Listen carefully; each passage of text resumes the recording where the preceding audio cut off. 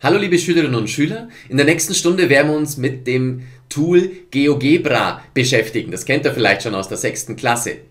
Ich werde euch in diesem Video zeigen, was man da alles dazu können muss. Ihr kommt zu diesem GeoGebra Geometrie Tool, indem ihr in euren Play Store oder in euren Apple Store geht und dort die App GeoGebra Geometrie runterladet. Oder ihr geht einfach ins Internet geogebra.org slash Geometry, also mit einem Y hinten dran, dann könnt ihr das Ganze auch im Mozilla Firefox, im Google Chrome in einem Browser öffnen. Was ihr da alles können müsst, das zeige ich euch jetzt. Zunächst einmal brauchen wir ein Koordinatensystem für bestimmte Aufgaben. Das heißt, wir müssen uns die Achsen anzeigen lassen und dann müssen wir auch noch das Koordinatengitter anzeigen. Da gibt es mehrere Möglichkeiten. Ich nehme hier immer ein enges Gitter, dann kann man es besser sehen. So, und jetzt geht es darum, dass man Punkte einzeichnet. Wem das Ganze jetzt zu groß erscheint, der kann sich das auch herzoomen oder wegzoomen. Je nachdem, ob er am Handy oder am Computer sitzt, geht es mit dem Scroll-Button oder mit den Fingern. So, jetzt müssen wir Punkte einzeichnen und das geht entweder so, ich kann einen Punkt A hier benennen, ist gleich und nenne den 1 und die der Strich, der normalerweise kommt, ist ein Komma und dann 1,5. Das wären die Koordinaten. Und jetzt seht ihr schon, wenn man eine Kommazahl in die Koordinaten reinschreibt, muss das ein Punkt sein. Getrennt werden beide Zahlen durch ein Kommazeichen. Also da darf man das nicht verwechseln. Man kann natürlich auch Punkte direkt aufs Gitter setzen. Das heißt, wenn man jetzt hier auf Punkt zeichnen geht, dann kann man auch direkt draufklicken und erhält den Punkt B an dieser Stelle. Wichtig, wenn ich Punkte bewegen möchte, also hier den Punkt B woanders hinsetzen möchte, gehe ich auf Bewege. Wenn ich einen Punkt zeichnen möchte, dann muss ich eben da woanders hinklicken, um etwas zu zeichnen. Das erste, was ich euch zeichnen möchte, zeigen möchte, ist, wie man eine Strecke zeichnet und misst. Hier steht ja schon dran, Strecke messen. Also ich nehme die Strecke A, B. Und jetzt steht hier nicht dran, wie man sie misst, sondern ich muss hier auf mehr gehen. Und jetzt habe ich die Chance, auf Messen zu gehen. Den Abstand oder die Länge ist das. Also klicke ich, es steht immer hier unten dran, wähle zwei Punkte, eine Strecke und so weiter. Ich nehme also einen Punkt und noch einen Punkt und jetzt kann die Strecke gemessen werden. Wenn ich jetzt wieder auf Bewege gehe, kann ich dieses Textfeld, wo die Streckenlänge gemessen worden ist, einfach auch verschieben, woanders hinschieben. Apropos verschieben, das ist ja das, was wir durch die Parallelverschiebung mitbekommen haben. Wir wollen jetzt einen Punkt verschieben. Was ich dazu brauche, ist ja ein Pfeil.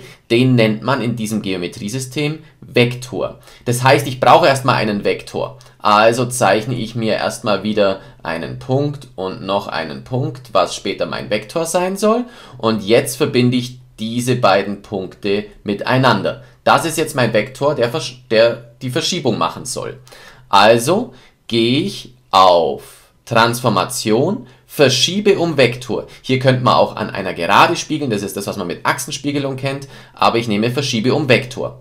Jetzt verschiebe um Vektor, ich soll ein Objekt wählen. Jetzt könnte ich zum Beispiel diese Gerade oder diese Strecke als Objekt wählen und brauche dann noch den Vektor. Jetzt wird die komplette Strecke als mit einem Vektor verschoben. Und je nachdem, wie ich den Vektor ändere, das kann ich jetzt hier auf Bewege machen, würde sich jetzt auch meine Verschiebung, seht ihr, verändern. Ich lasse das jetzt mal hier wieder dran. Damit ich das nachträglich dann auch noch sehen kann, zeige ich noch was anderes. Ich nehme jetzt einen Punkt, den setze ich auf diese Strecke hinauf. Der soll jetzt hier entlang wandern. Auch den werde ich wieder verschieben mit demselben Vektor. Überraschenderweise wird er natürlich hier auf meinen Punkt f' auf der Strecke landen. Jetzt kann ich hier mit einem Rechtsklick Spur anzeigen. Das heißt, sobald ich jetzt meinen Punkt f bewege, wandert mein Punkt f' mit und zeichnet eine Spur auf. Eine Spur bedeutet die Spur, die er verwendet oder wo er überall hinläuft. Und ich sehe schon, wo die Punkte alle hinlaufen. Wenn ich jetzt eine Anmerkung machen möchte, also etwas hineinschreiben möchte, gehe ich auf Text hier unten. Ich kann hier hinklicken und kann sagen Hallo oder Eigenschaften benennen. Das sollt ihr nächste Stunde machen. Ihr sollt dann in diese Textfelder Eigenschaften hineinschreiben. Und als nächstes will ich euch noch zeigen, wie man einen Winkel macht. Für einen Winkel brauchen wir normalerweise wieder drei Punkte. Ich setze einfach mal 1, 2, 3 Punkte. Und jetzt soll ein Winkel gezeichnet werden. Ihr könnt da schon ein bisschen mal durchgucken. Hier ist der Winkel und da brauche ich drei Punkte. Da muss ich den Drehsinn beachten. Ich fange bei I an, gehe zum H zum Scheitelpunkt und gehe dann zu G. Jetzt ist der Winkel gemessen. Wenn ich den Ganzen noch einzeichnen möchte, dann kann ich das Ganze hier zum Beispiel über Strecken machen. Stimmt zwar nicht ganz, weil es Halbgeraden sind, aber so kann ich den Winkel kenntlich machen. Einfach ist natürlich ein Kreis. Ich brauche zuerst mal einen Punkt, das ist dann der Mittelpunkt.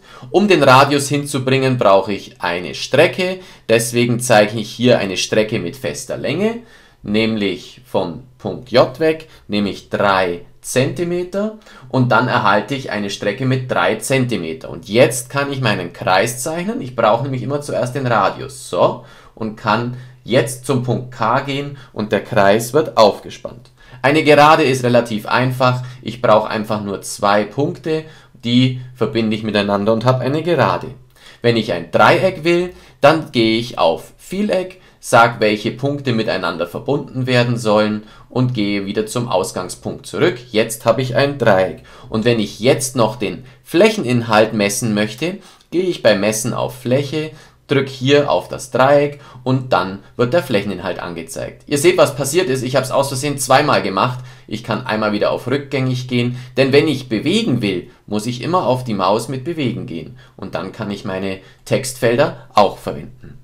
Das war jetzt natürlich etwas viel, aber ich glaube, das ist ganz intuitiv, wie man das Ganze verwenden kann. Wenn man was zeichnen will, geht man auf Zeichnen. Wenn man Winkel zeichnen will, geht man auf Winkel zeichnen. Wenn man verschieben will, geht man auf Transformation. Und ein Pfeil nennt man hier einen Vektor. Alles andere kriegt ihr bestimmt selber hin. Bis zur nächsten Stunde. Tschüss!